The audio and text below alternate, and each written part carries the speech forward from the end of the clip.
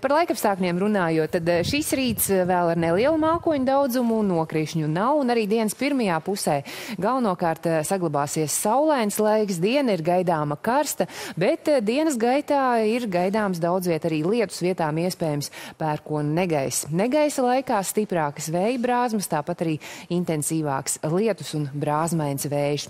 Diena valsts lielākajā daļā būs veicīga, gaisa temperatūra arī šodien būs robežās no 25 līdz 20. 29 grādiem, nedaudz vēsāks vietām piekrastē, kur gaisa temperatūra 20-22 grādu robežās. Un joprojām visā valstī spēkā dzeltenās pakāpes brīdinājums par augstu ugunsbīstamību mežos un tāpat arī karstumu, kas šodien ir gaidāms valsts centrālajā daļā un arī valsts austrumos. Rīgā šobrīd gaisa temperatūra 17 grādi, spīd saule, un arī diena ir gaidāma vasarīgi, karsta un lielākoties saulaina.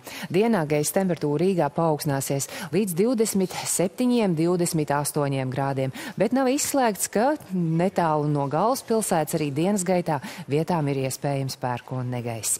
Šobrīd pareizais laiks tieši 7.